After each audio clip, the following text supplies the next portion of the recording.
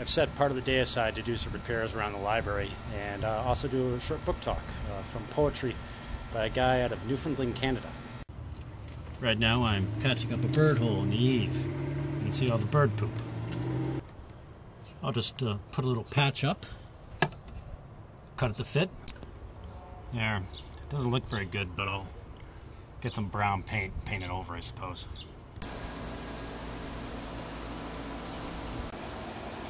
The author of the poetry book, his name is Joel Hynes, and I read a novel of his called Down to the Dirt a few years ago. And I ordered this, this book called Razor Days because I thought it was a novel, and then it came in, I found out it was poetry. I was disappointed. i Trying to hang this coaxial cable, but there's an old broken insulator here. I figure I could probably use that. I got the glass piece out, but it's still too slack, so I'm just going to use these attachment pieces to just nail it in. There, that ought to do it. Uh, Joel Hynes' novel was about a teenager who was just kind of a. He didn't know what he wanted to do with life. Uh, he had a band family and he drank a lot and just did a lot of drugs there in rural Newfoundland. And it was a really. Down to the Dirt was a very good title because that's what it was. It was just really down to the dirt and the bone of uh, a tough life in a rural area with no money and uh, no jobs, and a kid who wasn't interested in school was just having a lot of trouble. So we have some rust spots, and I was going to grind them down and then use some spray paint to cover them up.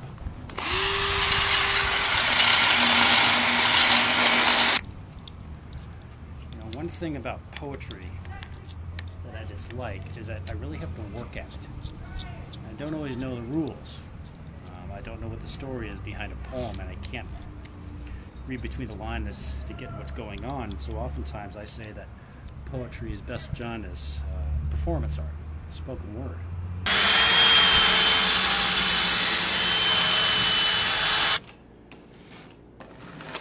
Uh, you know, one thing about poetry too is is uh, so often, at least the stuff that I read nowadays, is autobiographical and uh, content of the novel and the poems by Hynes really kind of match together with their kind of grimness, really. So let's run it down. You got drunks, rotten tattoos. I made a list. Uh, really, people who are too poor for a reliable vehicle, and they're often too drunk to drive anyway. Uh, absentee fathers, uh, struggling to write while sitting down with a pot of tea and sharpened pencils, uh, run-down rural homes that need a lot of work but never get it, uh, love for BMW motorcycles, and uh, more rotten tattoos and uh, drunks pontificating in bars. So probably none of this actually sells the book for you, huh? I mean, there's a lot of really depressing stuff, but uh, it, it's it's realistic in a lot of ways, in that there's hope ahead of it a lot of the poems. Um, kind of a realistic look at tough life. And of course, uh, you know, it's fairly well written. Now, of course, me saying that uh, poetry is well written, you got to take with a grain of salt. I don't know bupkis about poetry, but I liked it. So, well, I had to grow into it.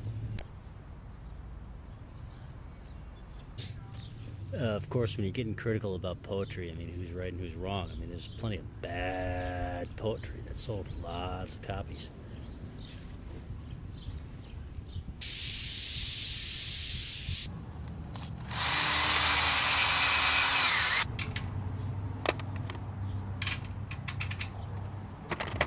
This is taking forever. I think there's an analogy in here about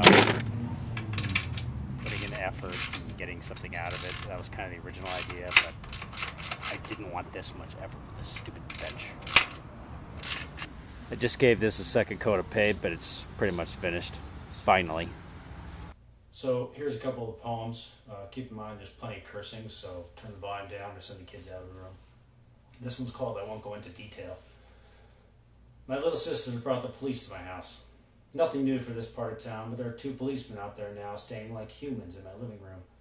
They, the police, have just come from the apartment my folks rent in town. to be closer to the situation with my sister, where they forced the door in because they were led to believe she might be in there on the floor, bleeding to death, on account of the so called boyfriend.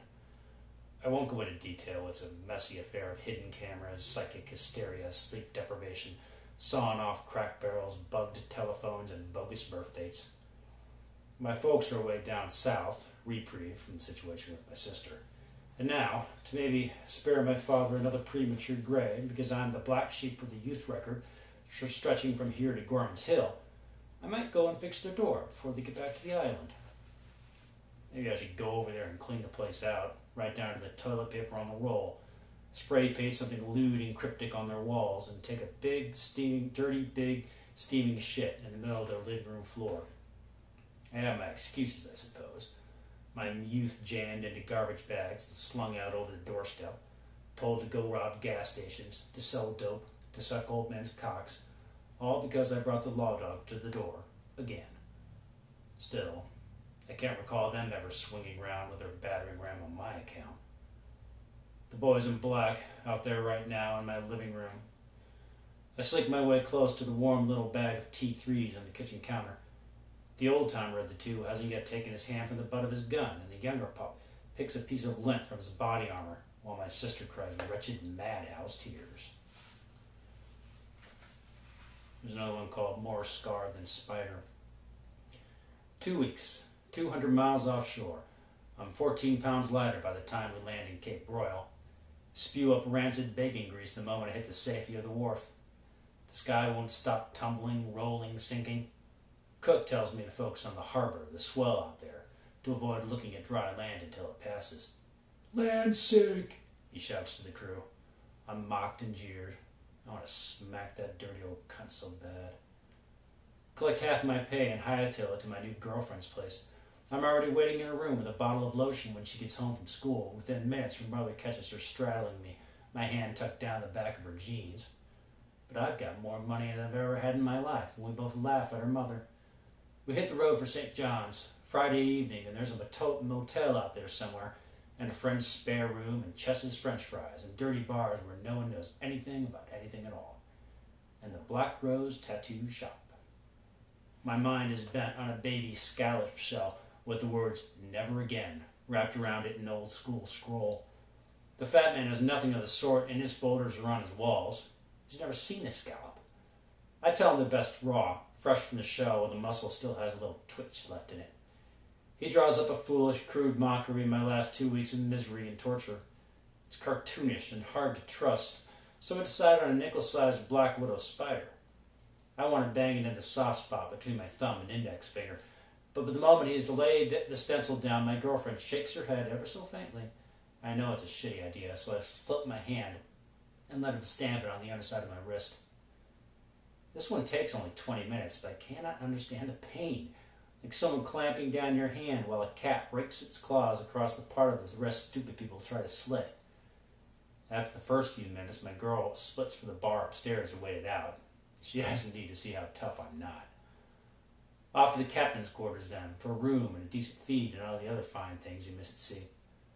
A good six months to heal, and it turns out to be more scar than spider, but it's forgivable since he shined up old Scully's gold tooth for free.